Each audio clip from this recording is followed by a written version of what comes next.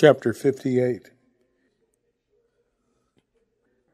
Excuse me, sir, but a young lady. Where? He gestured back toward the gate. I was tearing on a coat. A very beautiful young lady, a foreigner. She, but I was already past him and running down the corridor. I called back to his grinning face, Tophos, to make him turn out the light. Then I leaped down the stairs, raced out of the building, and along the path toward the gate.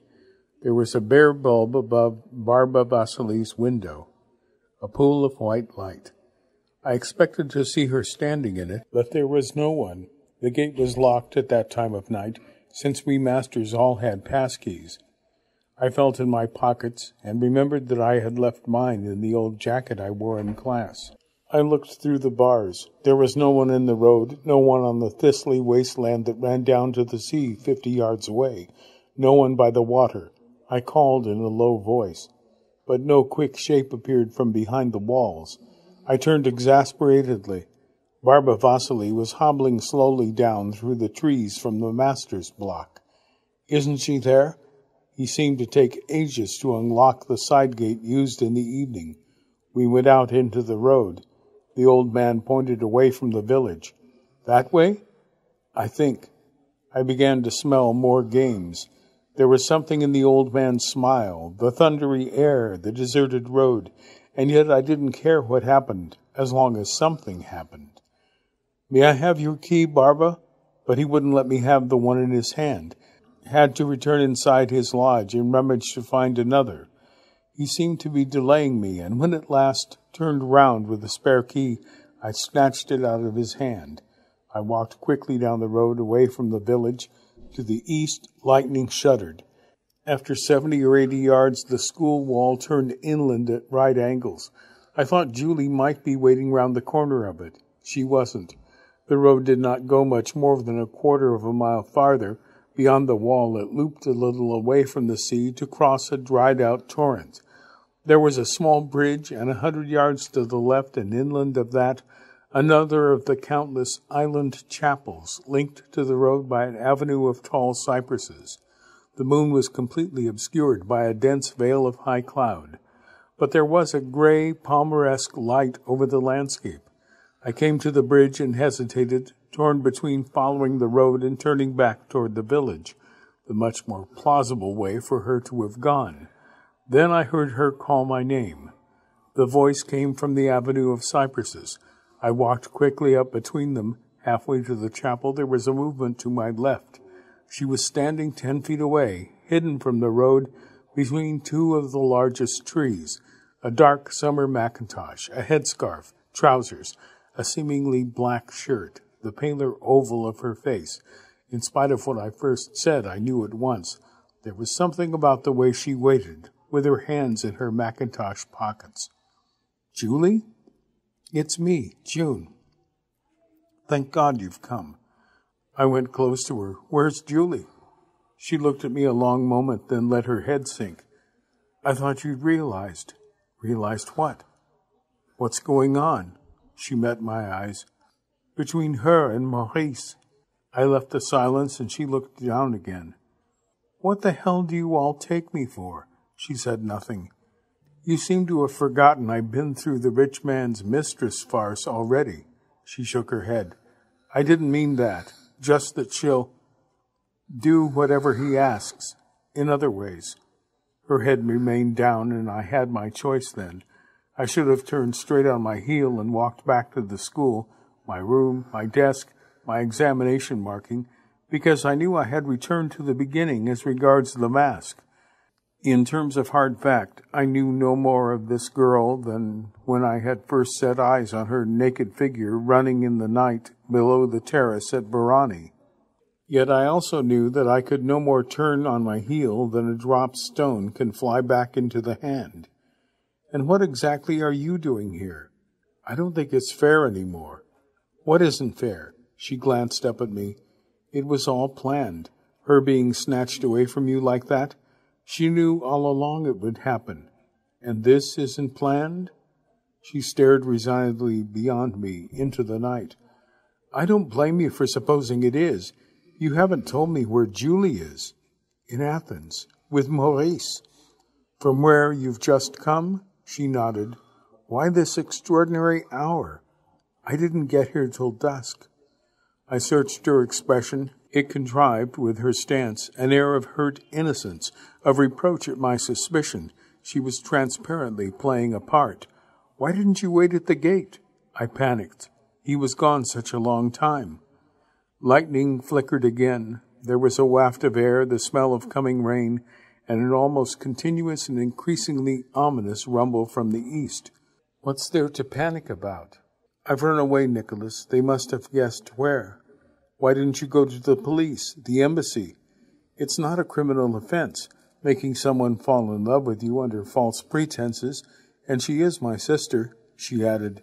It's not what Maurice is doing, but what Julie is. There were telltale little pauses between the sentences, as if she had to have each one swallowed by me before she could go on. I did not leave her with my eyes.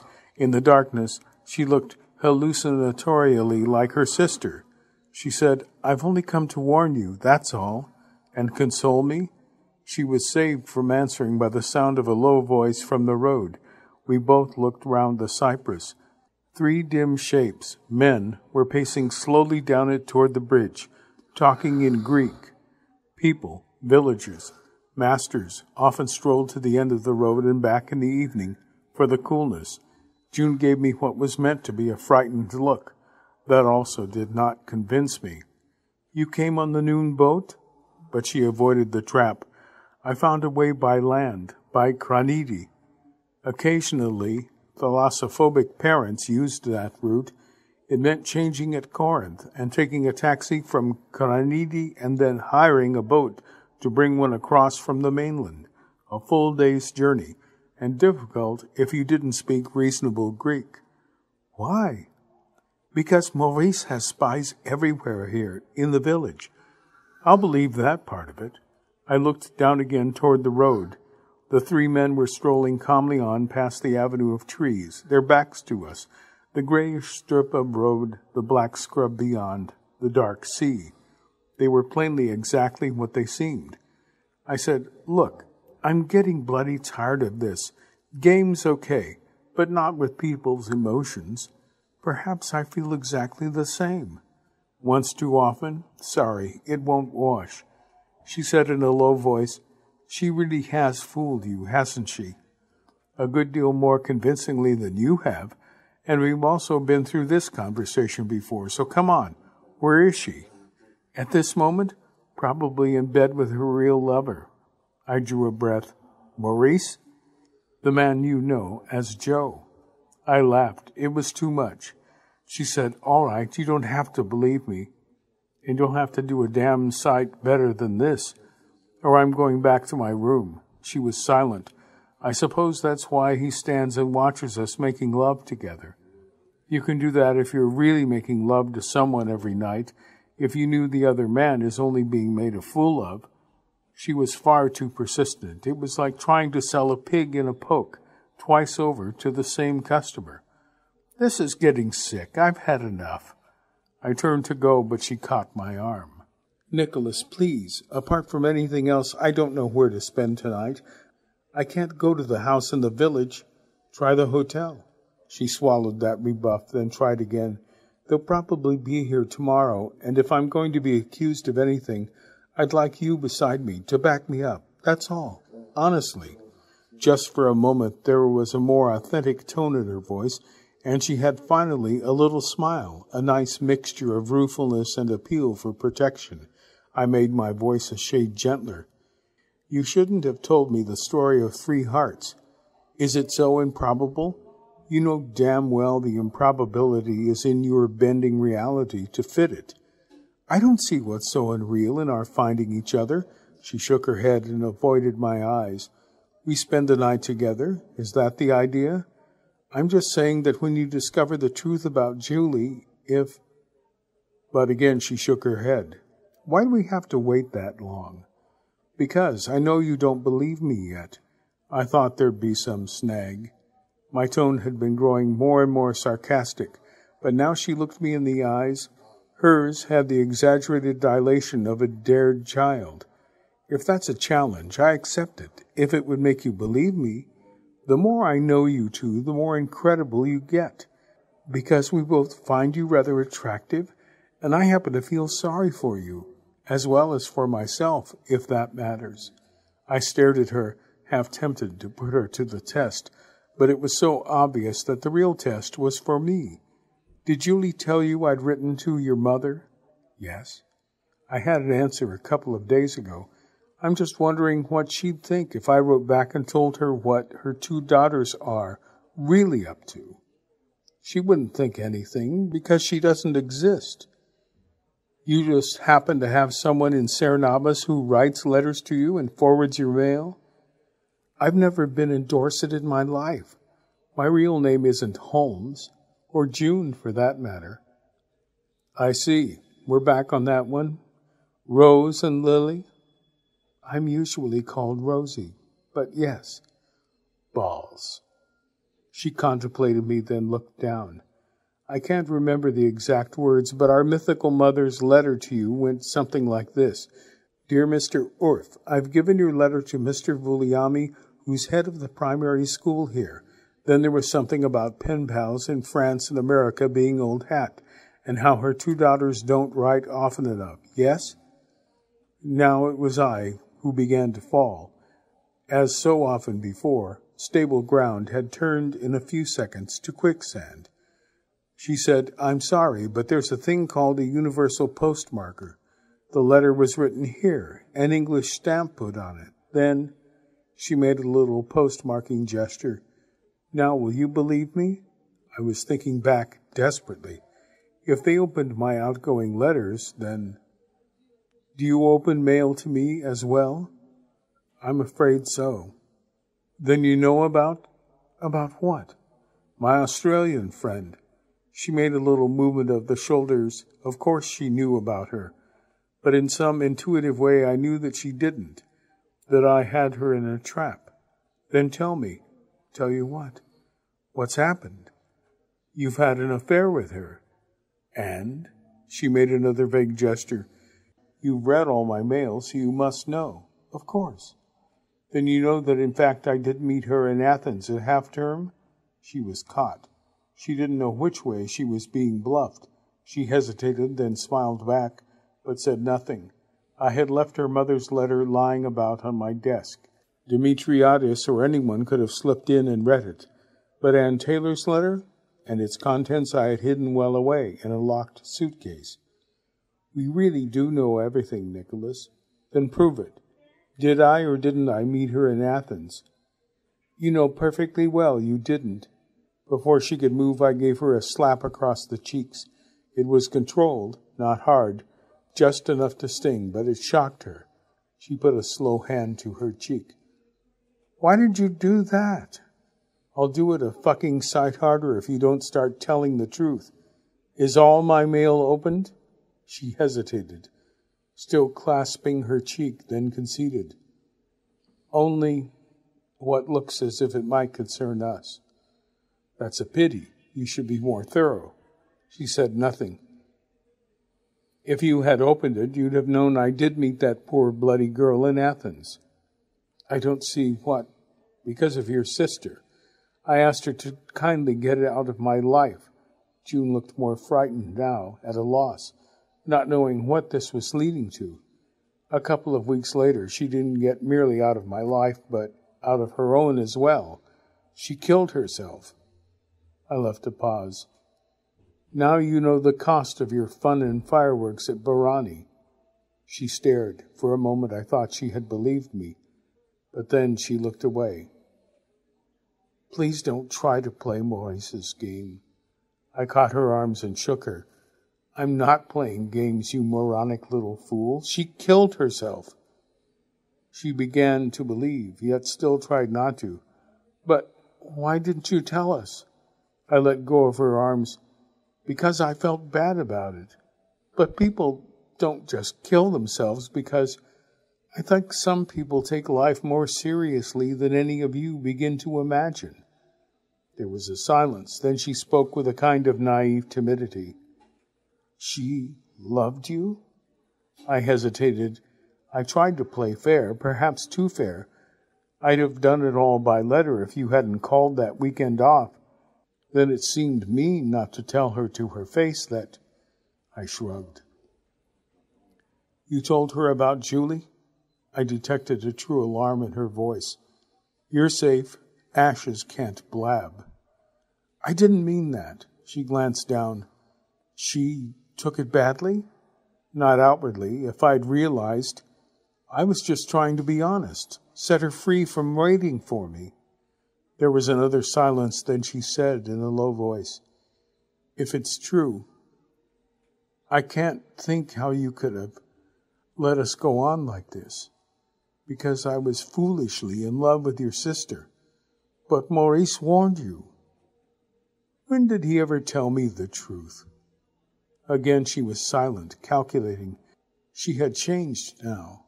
I noticed the pretense that she had come over to my side was dropped. She looked me in the eyes. Nicholas, this is very important. You're not lying? I have proof in my room. Do you want to see it? Please.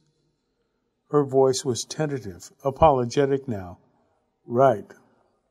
Be at the gate in two minutes. If you're not there, then forget it.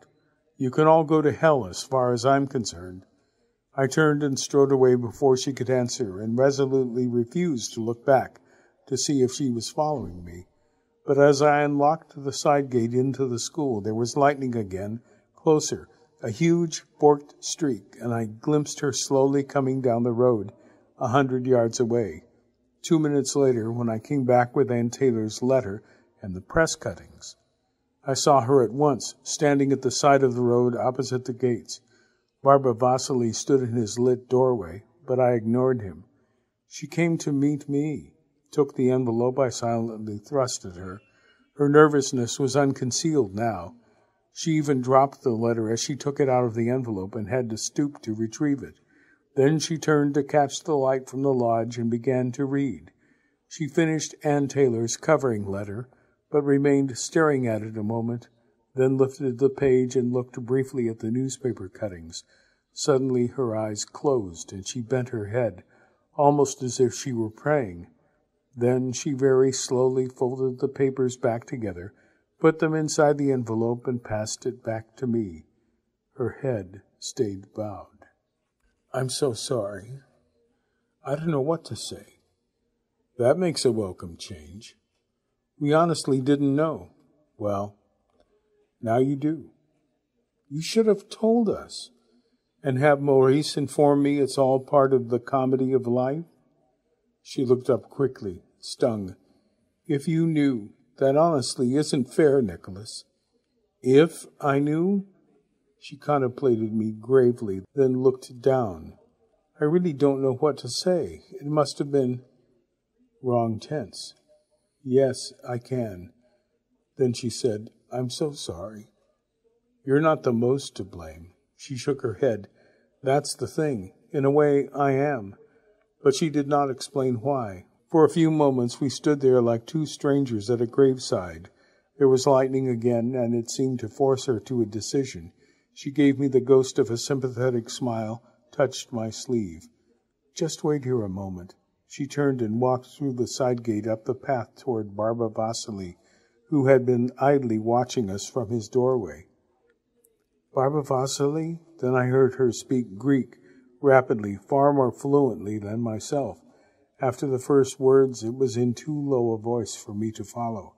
I saw the old man bow his head once, then twice more, accepting some instruction. Then June came back through the gate and stopped six feet from me, gave me a wry, confessing look. Come on, Come on, where?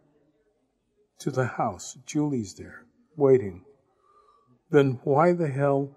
It doesn't matter now. Her eyes flicked toward the approaching rain clouds. Match abandoned. You seem to have learnt Greek very fast. Because I've spent three summers here. She smiled, but gently, to appease my lost, angry face, then came abruptly and caught my arms, so that I had to look at her. I want you to forget every single thing I've said this evening. My name is June Holmes. She is Julie. We do have a doughty mother, though not in Cerne Abbas. I still wouldn't surrender. She said, She does ride like that, but we made up the letter. And Joe? Julie likes him. There was a transient dryness in her eyes, but I can assure you she doesn't go to bed with him. She seemed almost impatient now, at a loss how to convince and mollify me. She raised her hands in a prayer gesture. Nicholas, please, please trust me. Just for a few minutes till we get there. I swear to God we didn't know about your friend. Then we'd have stopped tormenting you at once if we had. You must believe that. There was a force, a convincingness about her now, a different girl, a different nature. If one minute with Julie doesn't make you realize you have nothing to be jealous about, you may drown me in the nearest cistern. Still, I refused to budge. What have you just told him in there? We have a kind of emergency code word. Stop the experiment. Experiment? Yes. Is the old man here? At Bourani. The message will be radioed to him. Behind her, Barba Vasily had been locking the side gate. I saw him set off up the path to the master's block. June glanced around after my own look, then took my hand and pulled it. Come on. I still wavered, but a coaxing determination in her won. I was drawn into walking beside her, a hand caught in hers like a prisoner. What experiment? She pressed my hand, but said nothing for a few steps. Maurice will go mad. Why? Because what your friend did is what he's devoted most of his life to trying to prevent. Who is he? She hesitated, then abandoned secrecy. Very nearly what he told you he was, at one stage. With one last encouraging pressure, she let go of my hand. He's the French equivalent of an emeritus professor of psychiatry. Until a year or two ago, he was a pillar of the Sorbonne Medical School. She gave me a quick side glance. And I wasn't at Cambridge. I read psychology at London University. Then I went to Paris to do postgraduate work under Maurice. So did Joe from America, and several of the others here you haven't met yet. She said, which reminds me, you must have got so many false impressions, but one thing, you must forgive Joe for what he did that evening. He's really a very intelligent and gentle person. I looked at her. Something in her face was shy, and she gave a little confirmatory shrug. Julie isn't the one of us he might feel masculine about. I'm lost. Don't worry. You'll understand very soon. There's one other thing. Julie wasn't lying when she told you it was her first summer here. It is. In a way, she's even been a fellow victim. Yet knowing what was going on? Yes, but also having to find her way through the maze. We've all been through it in the past. Joe, me, everyone else. We do know what it's like the being lost, the rejection, the anger, and we all know it's finally worth it. There were great skittering sheets of lightning behind us, almost continuous. Islands to the east, ten, fifteen miles away, stood palely out, then vanished. The smell of rain was heavy in the air, little scurries of precursory wind. We were walking fast through the village. Somewhere a shutter slammed, but there seemed no one about. An experiment in what? Unexpectedly, she stopped, made me turn and face her. Nicholas, first, you've been our most interesting subject yet. Second, all your secret reactions, feelings, guesses, all the things you have been even told Julie, are vitally important to us. We have hundreds of questions to ask you, but we don't want to spoil their validity by giving you all the explanations beforehand. I'm asking you to be patient for just a day or two more. Her eyes were very direct, so direct I looked down from them. I've got very short on patience. I know it must seem to be asking a lot, but we would be so grateful. I gave no sign of acceptance, but I did not argue any more. We began walking again. She must have sensed my recalcitrance. After a few steps, she threw me a sop. I'll give you one clue. Maurice's lifelong special field has been the nature of the delusional symptoms of insanity. She put her hands in her pockets. Psychiatry is getting more and more interested in the other side of the coin why sane people are sane, why they won't accept delusions and fantasies as real.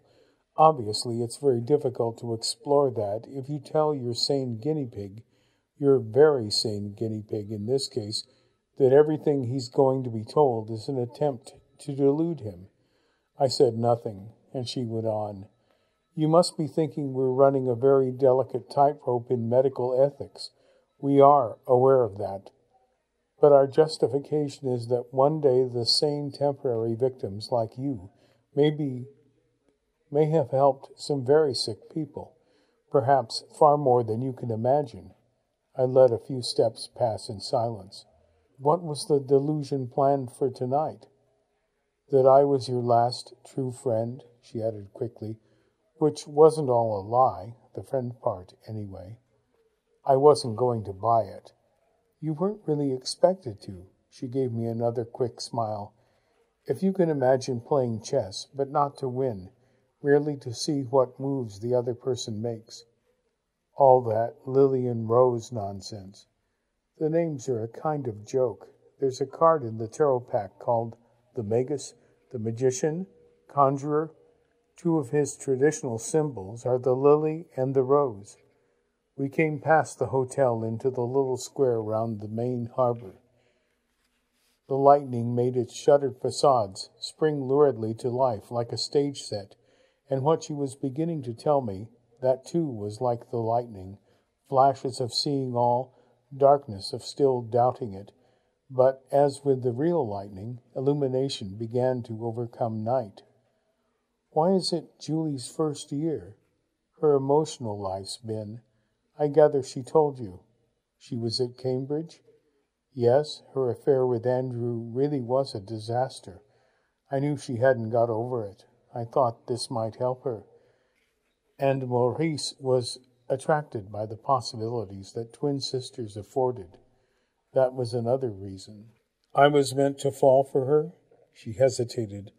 Nothing in the course of our experiments is meant in that sense. You can force people to do many things, but not feel sexual attraction, or the opposite. She looked down at the cobbles. It's improvised, Nicholas, not planned. If you like, the rat is given a kind of parity with the experimenter. It also can dictate the walls of the maze, as you have, perhaps without fully realizing it. A few steps passed, then she said in a lighter voice, I'll tell you one other secret. Julie wasn't at all happy about Sunday, the kidnapping. In fact, we weren't at all sure she would do it, till she did. I thought back, and remembered Julie's marked reluctance to show me that wretched subterranean hiding place before our picnic, and what had followed it, and even then I had almost forced it on her. Do I have any sisterly approval in real life? You should have met her last answer to every maiden's prayer. She added quickly, I'm being catty. Andrew was very clever, sensitive, but a bisexual. They do have awful problems. She needs someone. I saw her mouth curve. My strictly clinical opinion is that she's found him. We climbed an uphill alley toward the square of the execution. All the old man has told me about his past, is that all invention?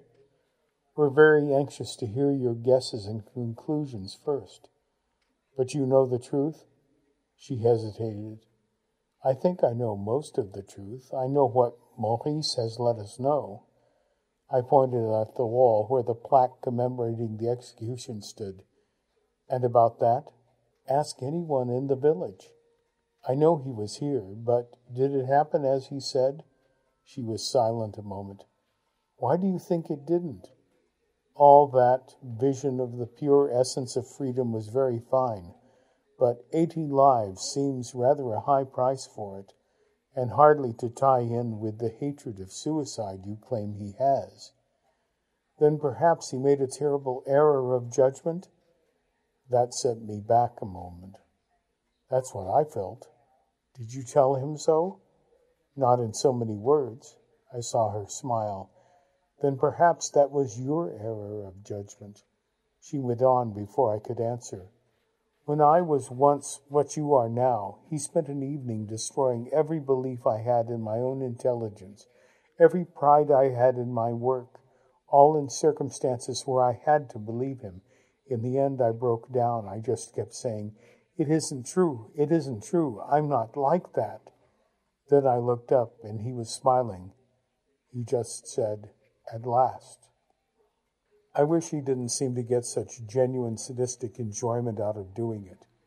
But that's precisely why one believes him. Or he would say precisely why one doesn't stand up against the real thing. She glanced dryly at me. The apparently sadistic conspiracy against the individual we call evolution, existence, history, I realized that was what the meta-theater was about. He used to give a famous lecture on art as institutionalized illusion. She grimaced. Our secret horror we always have is that someone like you will have read it. It's one reason we could never do this to a young French intellectual. He is French? No, Greek. But he was born in Alexandria, mostly brought up in France. His father was very rich cosmopolitan, at least I imagine. Maurice seems to have rebelled against the life he was supposed to lead. He claims he first went to England to escape from his parents to study medicine, and obviously you admire him a lot. She gave a little nod as she walked, then said quietly, I think he's the greatest teacher in the world. I don't even think. I know. How did it go last year? Oh God, that dreadful man! We had to find another subject, not from the school, someone in Athens. And Leverrier? She had a smile, unmistakably of affectionate memory. John. Then she touched my arm. That's a very different story. Tomorrow? Now it's your turn. Tell me a bit about, you know.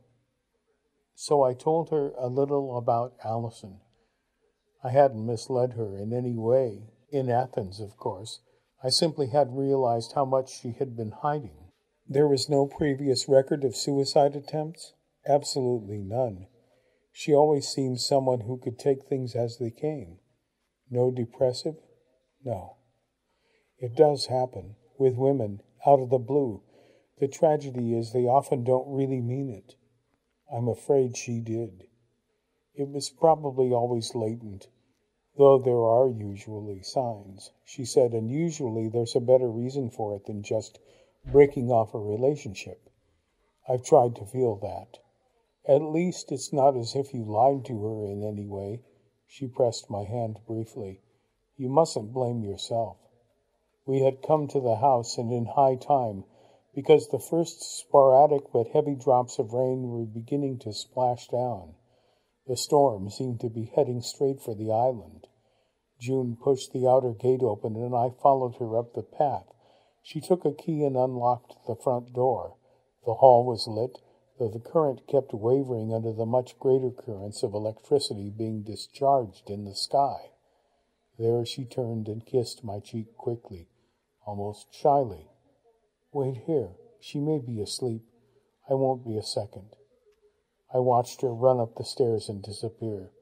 There was a tap, and she called Julie's name in a low voice. A door opened and closed, then silence. The thunder and lightning outside, an abrupt squall of more consistent rain on the window panes, a gust of cool air from somewhere. Two minutes passed. Then the invisible door upstairs opened. Julie came first, barefooted in a black kimono over a white nightdress.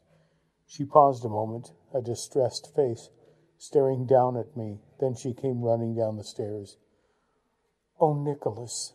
She fell into my arms. We didn't kiss. June stayed at the top, smiling down. Julie held me away from her, searching my eyes. Why didn't you tell me? I don't know. She sank against me again as if she was the one who needed comforting.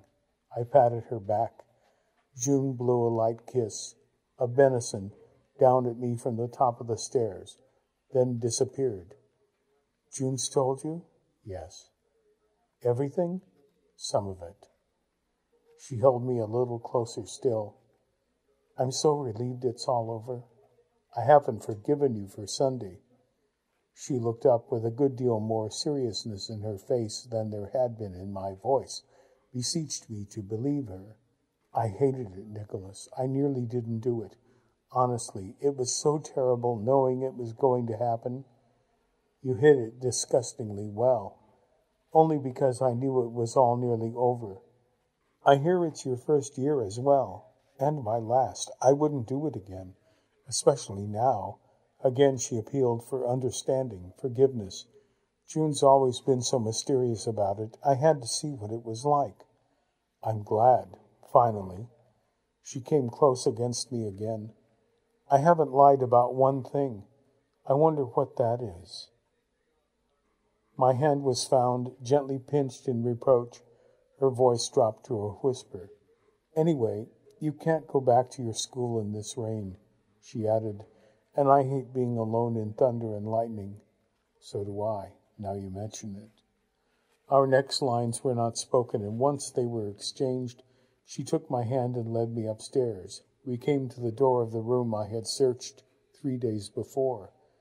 But there she hesitated, then gave me a faintly self mocking, yet genuinely shy look. What I said on Sunday, you long ago made me forget every other girl I've she looked down. This is where my witchcraft stops. I always liked us better as Ferdinand and Miranda. She smiled a moment as if she had forgotten that, gave me an intense look, seemed about to say something else, changed her mind. She opened the door and we went in. There was a lamp on by the bed. The shutters were closed. The bed was as she had left it, the sheet and a folk weave bedspread thrown aside, the pillow crumpled. Some open book of poetry beneath the lamp. I could see its broken lines of print, an abalone shell used as an ashtray. We stood a little at a loss, as people do when they have foreseen such moments too long. Her hair was down, the white hem of her nightdress reached almost to her ankles, she glanced round the room as if with my eyes, as if I might be contemptuous of such domestic simplicity, made a little grimace. I smiled, but her shyness was contagious, and the changed reality between us, what she had really meant by no more witchcraft, no more games, evasions, tantalizings. For a bizarre few seconds those seemed, in retrospect, to hold a paradoxical innocence Adam and Eve before the fall. Mercifully, the world outside came to our aid. There was a flash of lightning, the lamp shuddered, then went out. We were plunged into pitch darkness. Almost at once there was a tremendous peal of thunder overhead. Before it had died away, she was in my arms and we were kissing hungrily. More lightning, even louder and closer thunder. She twisted against me, clinging like a child. I kissed the crown of her head, patted her back, murmured, Shall I undress you and put you to bed and hold you? Let me sit on your lap a minute. It makes me so nervous. I was led in the darkness to a chair opposite the bed against the wall. I sat, she sat across my knees, and we kissed again. Then she nestled against me, found my free hand, and laced her fingers through mine. Tell me about your friend what really happened. I told her what I had told her sister a few minutes before. It was a spur of the moment thing. I felt so fed up with Maurice. With you, I couldn't face just hanging around here. Did you tell her about me? Only that I'd met someone on the island. Was she upset? That's the absurd thing. That's the absurd thing. If only she had been, hadn't buried it all so well. Her hand squeezed mine gently. And you didn't want her at all? I felt sorry for her, but she really didn't seem too surprised. Not answering my question. I smiled in the darkness as this not very well concealed battle between sympathy and feminine curiosity. I kept thinking how much rather I'd be with you. Poor girl, at least I can imagine how she must have felt. She wasn't like you. She never took anything seriously, especially if it was male. But she must have taken you seriously, in the end. I had anticipated that. I think I was just a kind of symbol, Julie, of all sorts of other things that had gone wrong in her life. The last straw, I suppose. What did you do in Athens? A few sights, had a meal, sat and talked, drank too much. It was all very civilized, really, or seemed it. Her nails dug gently into the back of my hand. I bet you did go to bed. Would you be angry if we had? Her head shook against mine. No, I deserved it. I'd understand. She raised my hand and kissed it. I wish you'd tell me. Why are you so curious? Because there's so much I don't know about you. I took a breath. Perhaps I should have, then at least she might still be alive. There was a little silence, then she kissed my cheek. I'm only trying to find out if I'm spending the night with a callous swine or a bruised angel.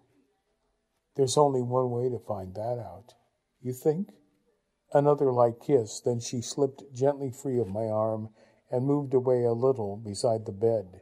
It was very dark in the room and I could see nothing, but then lightning shivered through the shutters. For a brief flash I saw her by the cassone, peeling her nightdress over her head. Then it was sound, her feeling her way back toward me. A crack of thunder, a little shocked out breath.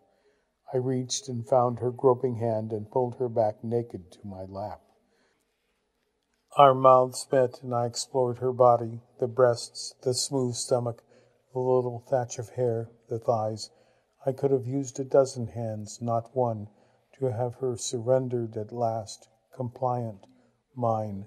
She shifted, stood a moment, then straddled my lap and began to unbutton my shirt. In another flash of lightning, I glimpsed the expression on her face, a kind of intense seriousness, like a child undressing a doll. She forced the shirt and the jacket I was still wearing back away from my body. Then she clasped her hands behind my neck, as she had in the sea at Moutsa, and sat away a little. You're the most beautiful thing I've ever seen. You can't see me. Felt. I bent and kissed her breasts, then pulled her against me and found her mouth again. She was wearing some strange scent, musky and faintly orange, like cowslips, and it seemed to match something both sensual and innocent in her, a growing abandon to passion that was also a willed attempt to be what she felt I must want, feverish, strained, not playful at all. In the end, she tore her mouth away as if she was exhausted. After a few moments, she whispered, Let's open the shutters. I love the smell of the rain. She slipped away and went to open them. I got quickly out of my remaining clothes and caught her as she turned back from the window, made her turn, held her close from behind so that we stood with the rain teeming down three feet away, the cool wall of dark air. All the lights in the village were out. The generator fuse must have blown. Lightning split the sky over toward the mainland, and for a moment or two, the crowded houses below us, all the walls and the roofs, even the sea below, were illuminated with an uncanny pale violet light. But the thunder took longer to arrive. The short center of the storm had already passed on. Julie leaned back against me, abandoning the front of her body to the night and my encircling hands. I smoothed down the little belly, ruffled the pubic hair. Her head turned against me, then she raised her right leg and rested it on a stool below the window, so that the hand could caress more easily. She took my other hand, led it to her breasts, then stood absolutely passive, letting me excite her, as if the rain was her real lover and the outside night as if I was now to do to her what she had done to me in the sea. Little splashes of the downpour bounced from the sill against my lower hand and her skin, but she seemed oblivious of them. I whispered, I whispered, I wish we could go outside. Her mouth twisted to kiss me in quick assent, but then her hands found mine again and pressed to keep them where they were. She preferred this now to be gently abused slowly coaxed. There was still lightning, but it began to seem from another world. The only real world was her body and my own. The curves of her back, the warmth there, the pods of silken skin with their aroused tips, the indulged, solicited caress below. It was a little as I had imagined in the beginning. The Lily Montgomery phase, this delicate, elusive creature, half swooning, succumbed to the animal part of herself, and not quite adult yet, beneath her airs and graces, something of the innocent perversity of a little girl playing at sex with little boys. Suddenly, half a minute later, she caught my hands and made them lie on her stomach, imprisoned them. What's wrong? You're being wicked. That was the idea. She turned against me, her face buried. Tell me what you liked her doing to you best. I remembered an old Urfe law that girls possess sexual tact in inverse proportions to their standard of education, but I saw some delicious but I saw some delicious instruction ahead in this case. Why do you want to know? Because I want to do it to you. I held her a little closer. I like you as you are. She whispered, You're so big. Her hands stole down between us. We stood apart a little. There seemed something virginal about her, yet wanting to be corrupted led further. She whispered again, Have you got a thing? In my coat. Shall I put it on for you? I went and found the contraceptive, and Julie moved beside the bed. There was a little more light now. The clouds must have thinned slightly. I could just see her silhouette. She took the sheath, made me sit on the end of the bed, knelt on the island rug, leaned forward and rolled the sheath on, bent and gave it a little kiss then sat back on her heels, hands folded across her loins, demure. I could just see her smile. Liar, I don't think you're shy at all. I did spend five years in a convent dormitory where nothing was left to the imagination. The rain was easing, but the freshness of it, the smell of cistern water on stone, pervaded the room. I saw it secretly streaming down, the walls of hundreds of cisterns, the excited eels at the bottom. All that talk of running away. Her smile deepened, but she said nothing. I reached for her, and she rose, let herself be drawn down on top of me.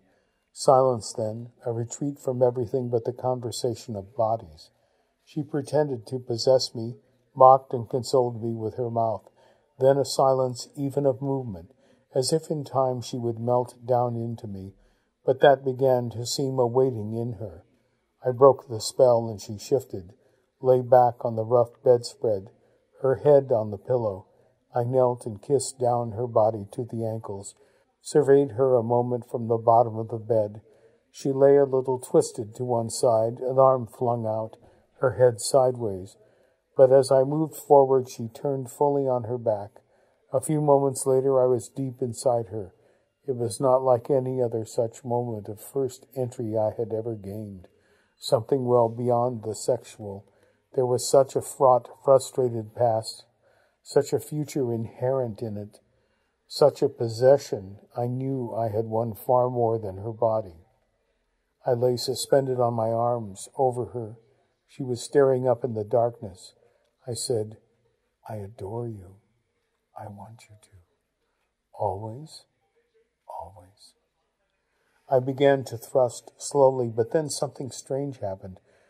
Without warning, the lamp beside the bed came on again. They must have mended the generator down in the village. I stopped my movement. For a second or two, we were comically like two shocked strangers, our eyes locked in embarrassment, so much so that we had to smile. I looked down her slim body to where we were joined, then back to her face. I sensed something troubled and shy in her look, but then she closed her eyes and let her head fall sideways in profile. If I wanted it so, I began to drive, her arms bent back behind her head, as if she was defenseless, doubly naked, completely at my mercy, that lovely slave like limpness in everything but the loins. There was a tiny rhythmic creaking somewhere in the bed frame. She seemed so small, fragile, asking for the brutality she had said she had felt in the chapel at Moutsa. Her hands clenched, as if I was really hurting her. I came, it was too soon, but irresistible. I thought it was much too soon for her, but just as I was dying, about to give up, she suddenly raised her arms and urged me on, a brief but convulsive little thrusting against me. Then I pulled violently down to meet her mouth. We lay still, joined for a little time, in the profound silence of the house. Then we were separate, and I moved beside her. She reached out for the lamp switch, and we were in darkness again.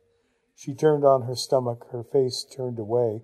I stroked down her back, patted the small bottom, kept caressing its curves. Already, despite the traditional nature of the moment, I felt a marvelous surge of euphoria. I hadn't expected it to be so shared, so full of promise, like the skin beneath my hand, that she could be so warm, capable of giving. I told myself I ought to have guessed. There was that feeling about June of a girl who enjoyed it. And the same need must have lain buried in the less extrovert sister beside me.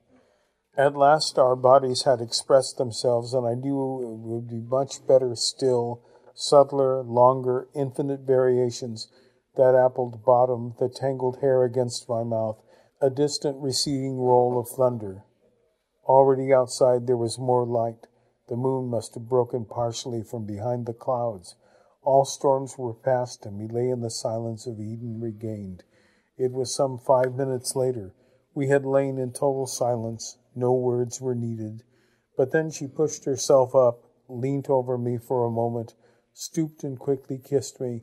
She leant back, and her face above mine in a hanging cloud of hair, a faint smile, her eyes on mine.